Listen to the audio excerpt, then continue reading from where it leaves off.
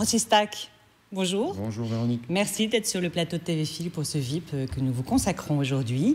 Vous êtes photographe, vous êtes yvelinois, car je crois que vous habitez Buc. Absolument. Et vous avez un lien très fort avec euh, les Yvelines, car vous avez déjà, euh, il y a, en 2012 je crois, euh, produit, un- illustré un livre Oui, sur. Saint-Quentin en Yvelines que nous voyons à l'écran. Racontez-moi, c'était Tout à fait. En fait, euh, le livre est sorti en 2013, 20 ans après le premier opus, Mhm. 50 ans en Yvelines, qui était sorti en 93, D'accord. qui avait été euh, sollicité à l'époque euh, par l'agglomération de Saint-Quentin, et celui-ci a été fait en collaboration avec l'Office de tourisme. D'accord. Donc vous avez photographié euh, toute l'agglomération?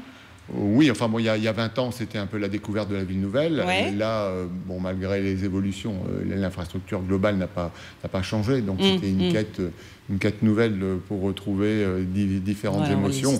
En, Mhm. l'occurrence, on voit, on voit ici quelques images, mais euh, euh, bon, ça, ça prouve que dans un territoire euh, très proche, on- on- en cherchant, on peut trouver des, des- des choses formidables. hein, des- La preuve là, là, on, on voit la couleur, parce qu'en fait, je suis un photographe de, rouge, hein de la couleur. On y reviendra après, oui, je sais.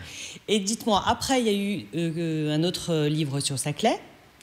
Oui, euh, l'année moins, suivante, oui. on a sorti euh, avec Jacques de Givry un livre sur le plateau de Saclay. D'accord. Et- Donc toujours dans le même optique. Alors là, sous la Oui, neige. enfin, en l'occurrence, là, c'était la défense du plateau de Saclay et, des intérêts euh, du plateau, puisqu'il est bien sûr menacé d'urbanisation. Oui, Euh, d'accord. Là, il y avait une. et là, ce sont des images, enfin, les images qui ont illustré le livre sont des images qui ont été faites euh, euh, avec mon, mon paramoteur, mon, mon ULM. Ah, déjà Euh, donc, euh, euh, oui, parce que ça fait une petite dizaine d'années maintenant que je pratique ça. D'accord. Euh, donc, le plateau de Saclay, par définition, c'est un plateau. Et euh, vu du ciel, ça offre une perspective bien. euh, bien Ouais, différente. ouais.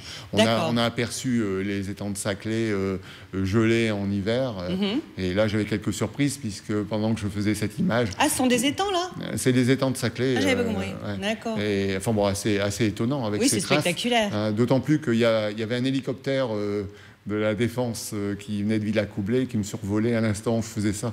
Enfin, Par hasard Bah, lui, lui c'était par hasard. Là, là, ça, ça a chauffé un peu parce qu'ils ont appelé euh, Vigie Pirate Rouge. Est-ce que Oh, Francis. Tay- un, un- un pilote dans le circuit de piste, que fait-il là, etc. Enfin bon, bref, euh, Bon, l'histoire s'est bien terminée. rassurez-moi. Après, vous avez aussi commis deux livres sur la Bièvre, donc euh, sur la, la La- Haute-Vallée. absolument, la, vallée de la Bièvre. Mais c'est voilà. c'est des livres qui sont, qui sont plus anciens. anciens. Bon, d'accord. et qui ont défendu euh, notre patrimoine local, puisqu'à Oui, l'origine c'était. euh, la même démarche. Oui, absolument, mais à, à l'origine c'était pour empêcher la B12 de, de passer au-dessus des, des sources de la Bièvre et de, de l'étang du Moulin Renard. Ça a marché? bah, A priori, ça a bien marché, puisque à l'époque, Mitterrand habitait rue de Bièvre. Évidemment, le livre lui avait été adressé, mais c'est par hasard euh, à Belle-Île Ouais. qu'il était allé en, en se baladant euh, voir la galerie que Jacques de Givry avait à, à Belle-Île, qu'il est tombé sur Ah, le c'est livre, qu'il a acquis le livre. Enfin bon, en l'occurrence, euh, après c'était un, un autre combat politique des amis de la vallée de la Bièvre pour Mm. euh, garder euh, intact notre environnement qui est extraordinaire. D'accord. Donc, vous êtes photographe, on va dire, local yvelinois, mais aussi, euh, vous allez aussi au bout du monde. Vous faites des voyages ah, hallucinants dans des endroits où on se demande si c'est pas un peu dangereux d'aller d'ailleurs, parce que vous êtes voyageur photographe, on peut dire. Vous avez une passion pour le désert. Vous avez euh, donc euh, écrit. On dit écrit quand on est photographe Non, on dit pas écrit. Enfin, si, parce qu'il y a vos textes? Non, mais c'est moi qui ai apporté l'idée. En l'occurrence, là, il y a Paul Robin qui a, qui a complété, qui a fait un, test, un, un texte scientifique euh, qui a été relu même par, par des. euh, par des spécialistes des, des déserts et, des géologues pour voir que, que le contenu était euh, exact. En l'occurrence, ce livre, j'en suis euh, Donc, très fier. s'appelle Dune. Dune, il- c'est- c'est- ce livre a été euh, euh, fait en collaboration aussi avec Géo et National Geographic. D'accord. Euh, c'est un livre qui se Donc, veut vous avez une eu une année synthèse prix. Planétaire sur, euh, sur les espaces de sable dans le monde. C'est, pour moi, c'est, ma fier- fierté absolue. hein. Dune, c'est, un bouquin de référence. ouais. D'accord.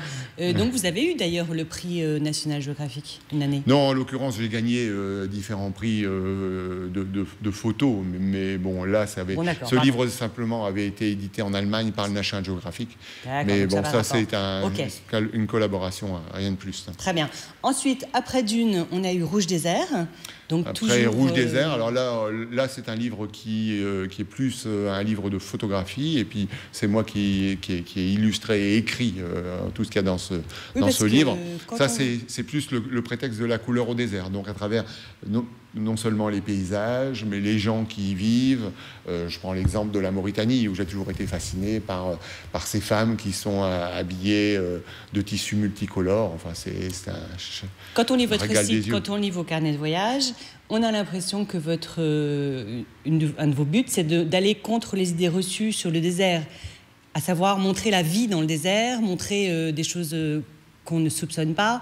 Vous, vous parlez de, vous avez des contacts avec les habitants, soit des sédentaires, soit des nomades, des, des chameliers. Enfin, Oui, enfin, c'est beaucoup, c'est beaucoup de travail parce que par définition, par, par définition, le désert est vide. Donc, quand j'avais, entamé euh, ce, ce livre d'une, euh, l'idée c'était d'aller photographier les sables partout dans le monde. Oui. Voyez Donc, euh, c'était vraiment une quête qui, qui, qui n'en finissait plus. Et quelques années euh, plus tard, j'avais eu l'occasion de voyager avec Philippe Frey.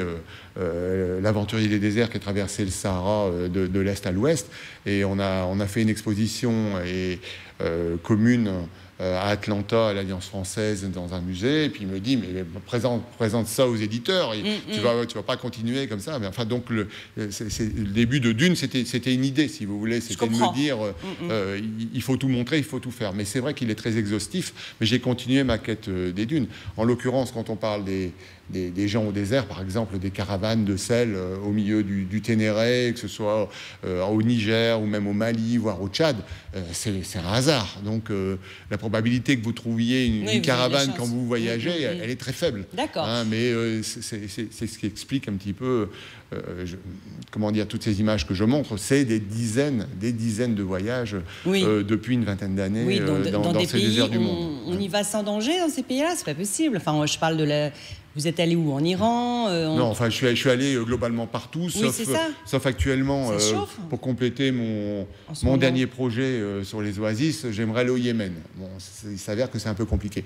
Euh, en Libye, en ce moment, c'est difficile. Pareil, vous étiez à, la fron- à 50 km de la frontière de la, de la Libye pour. euh, je Oui, mais c'est en Égypte. Et je considère que l'Égypte ou même Ah, l'Algérie sont des pays Ah, extrême- extrêmement sûrs. Non, mais euh, il suffit. On- on- enfin bon, à travers les événements récents, regardez Oui. un peu ce qui se passe en Algérie ou en, ou en Égypte. C'est pas, c'est presque, non, enfin vis-à-vis des événements qui se sont passés Par en France, il n'y a, y a- il y a- il y a pas de problème. Ce sont des pays très sécurisés. Moi, je reviens, je reviens au mois de mai là du Maroc et de l'Égypte. Bon, c'est des pays dans lesquels vous vous sentez en toute sécurité. La Mauritanie, je pense que c'est exactement la même chose. L'Algérie, euh, où il y a très peu de tourisme, euh, tourisme de- de- de- d'occidentaux, euh, Mhm. est, est- est- est un pays absolument fascinant. J'y étais encore euh, à la fin 2000, euh, 2016 pour continuer mon voyage sur les, oasis. Donc ça, Alors. ça c'est le, dernier opus sur les déserts que je voudrais euh, éditer. Oui, Hein, alors c'est c'est ces ça. images. Vous avez des images d'oasis qui sont en voie de disparition pour certaines, comme vous dites sur votre site, je crois. Non Oui, enfin, je suis pas sûr de, de le dire sur le site, Bah, c'est l'objet, du prochain, du prochain livre. Mais Ah, mais vous je me prends- l'avez dit au téléphone, Je prends l'exemple de cette image-là. Cette image, Oui, celle-là. ça, c'est une Alors, quête. C'est une quête de, de, de, de, de, de- de 10 ans. 10 ans pour, pour faire cette image. Pourquoi Ah oui, Parce pourquoi que c'est, à l'est de l'Algérie. Euh, il faut trouver euh, un, moyen, un, moyen de, de- de survoler ces endroits. C'est très, alors, très difficile parce qu'il n'y a pas d'aviation euh, légère en Algérie. Euh, en l'occurrence, ça, c'est des photos de paramoteur, mais Voilà, paramoteur, c'est le mot que je voulais entendre. Les, les Occidentaux n'ont pas le droit de faire du paramoteur en Algérie. Enfin, Non. Donc, en l'occurrence, c'est un, c'est un peu compliqué. Mais Mais ça, vous, vous en faites du paramoteur. C'est comme ça que vous faites vos photos vues oui, du ciel. oui, non, parce que je, je, je me donne, je, là, je me donne beaucoup, de, beaucoup, de, beaucoup de mal et, et, euh, Et les moyens euh, nécessaires. les moyens nécessaires, c'est-à-dire le temps, euh, les contacts locaux et des amis qui m'aident. Mais les- sur cette image précédente à nouveau, c'est la photographie d'un route, c'est-à-dire une, une, une oasis, une palmeraie en taux noir.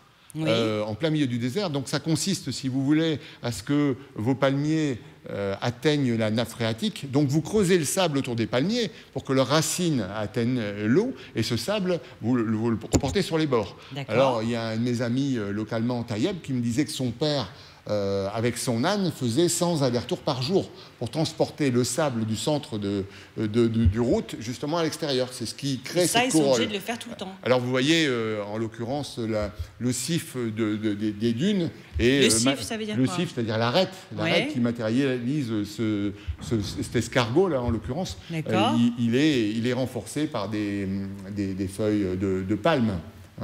donc ah, en fait, vous avez les palmiers qui sont au fond de la cuvette ils sont dans la chaleur, ils ont l'eau, ils sont protégés du vent. Oui, mais au prix d'une lutte euh, Mais ça, c'est en train de disparaître. C'est en train de disparaître parce que les nappes phréatiques euh, au Sahara euh, s'assèchent ou sont polluées. Il y a les populations qui ont augmenté de manière exponentielle. Ces oasis, ces petites oasis sont devenues des villes. Enfin, c'est un peu la menace qu'il peut y avoir. En Chine, il y a bien longtemps que les oasis de la, de la route de la soie, si vous voulez, sont devenues des très grandes villes. Et au Sahara, c'est en train de se, en train de se passer. Et moi, je veux montrer un petit peu l'agriculture traditionnelle dans, ces déserts. Tant qu'elle existe encore. Mais il faut comprendre que des oasis, c'est quoi? C'est un dix millième peut-être de la surface des déserts. C'est les quelques endroits où l'eau affleure, où l'eau euh, soit, soit en surface, soit à quelques mètres de la surface. on, a acquis, on a trouvé ces endroits au, cours de dizaines de, siècles. Et les gens ont survécu euh, pendant des siècles. Et dorénavant, ça va disparaître. Attention, je vais vous couper la parole. Euh, aujourd'hui, tout de suite maintenant, si on veut voir quelques-unes de vos photos, elles sont à la Galerie Moderne Art de Versailles, 9 rue du Vieux-Versailles. Et surtout, vous participez aussi à ce festival de la Gacilly. Voilà, l'affiche s'affiche, comme on dit. Et vous avez euh, participé, vous participez, pardon, à la Gacilly, car le thème est l'Afrique. Oui, tout à fait. En fait, euh, je participe dans le cadre du collectif qui s'appelle euh, Images sans frontières, euh, qui représente des, photographes du monde entier. Oui. Et chaque année, on a une vingtaine d'images qui sont exposées à la Galerie du Port à la Gacilly. Vous, il y en a sept. En l'occurrence, ces photos ont été sélectionnées par Cyril Drouet du Figaro Magazine. On lui propose une sélection d'images. J'en ai, j'en ai, j'en ai sept. Donc, donc, on va voir aussi pendant tout bah, l'été là-bas à la en Vendée. Il y, a beaucoup de monde. Hein. Et on euh, c'est pas, pas en Vendée. C'est dans, le Morbihan entre Rennes et Vannes. Ah, vous chipotez, vous. Bon, d'accord. Ben, on ira vous voir avec grand plaisir bah, et euh, à hein. bientôt pour le livre sur les oasis. Merci Véronique. Merci Francis Tac.